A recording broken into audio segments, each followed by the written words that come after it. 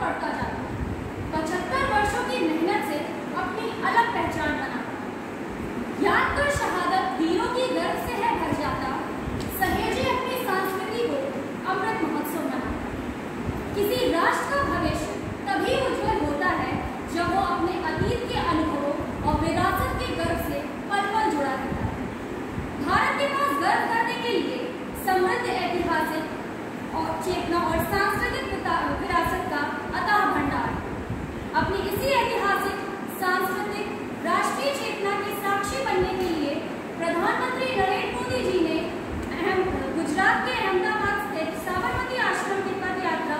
स्वतंत्रता मार्च को हरी झंडी दिखाकर आज़ादी के पचहत्तरवीं वर्षगांठ को समर्पित आज़ादी का अमृत महोत्सव कार्यक्रम का उद्घाटन किया आज़ादी का अमृत महोत्सव 15 अगस्त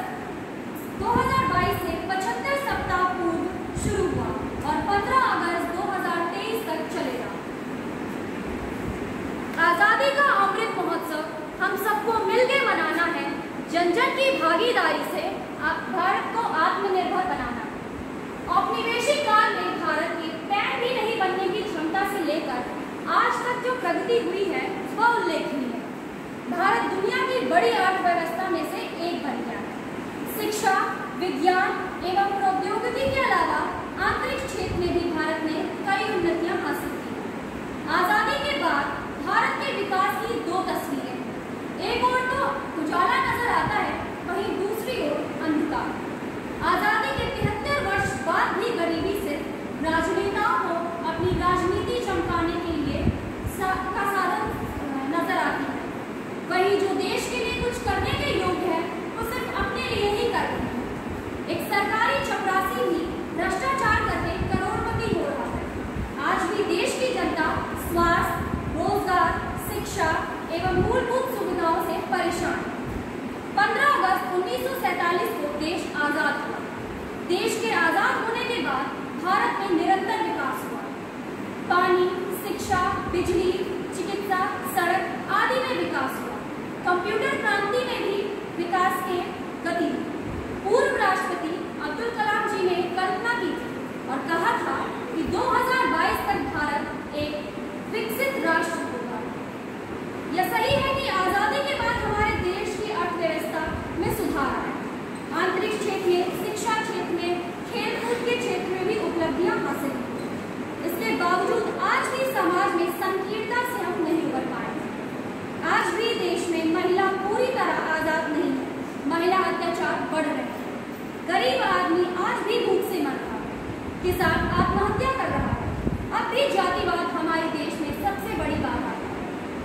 इक्कीसवीं सदी का भारत आत्मनिर्भरता की तरफ़ कदम बढ़ा रहा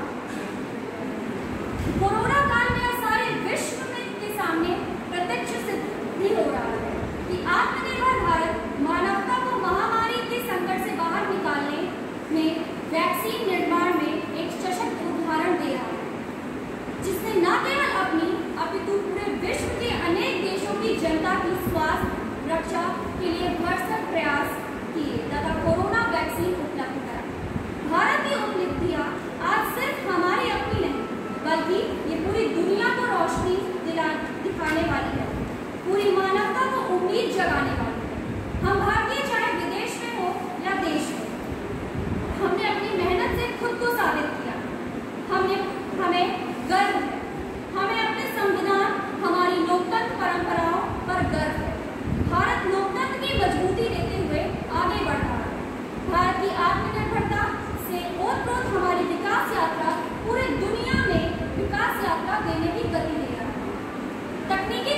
तकनीकी कॉलेज होने के बावजूद हमारा देश सर्वाधिक संख्या में बेरोजगार पैदा कर रहा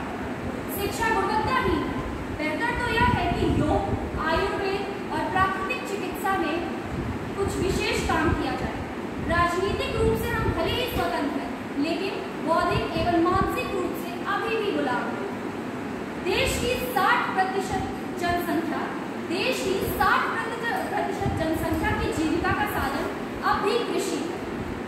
पर अब भी उनकी स्थिति में कोई खास सुधार नहीं हुआ है और आए दिन उनकी आत्महत्या की खबर सामने आ गई यूँ तो सरकार द्वारा उनके लिए कई प्रकार की योजनाएँ संचालित है पर उनको सही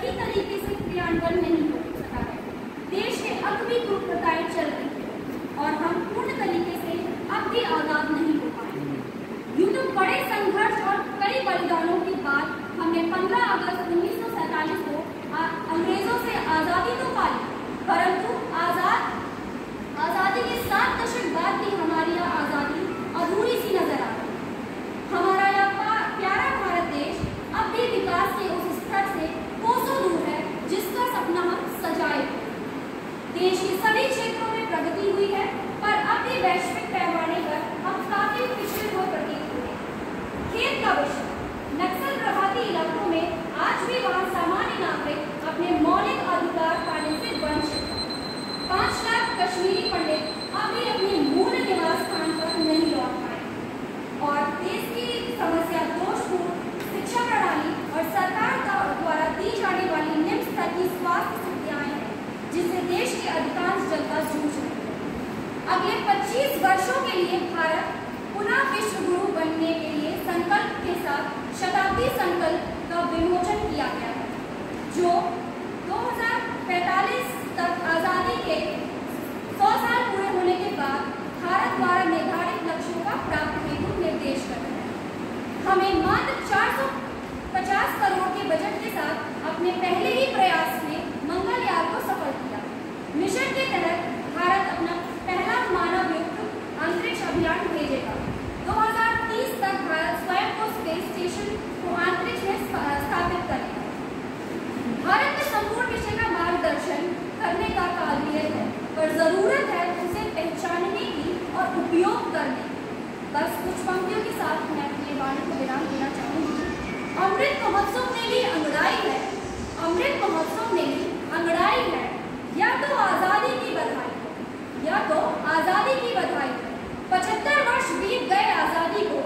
पचहत्तर वर्ष बीत गए आज़ादी को। वह यात्रा अब सबको याद दिलानी है वह यात्रा अब सबको याद दिलानी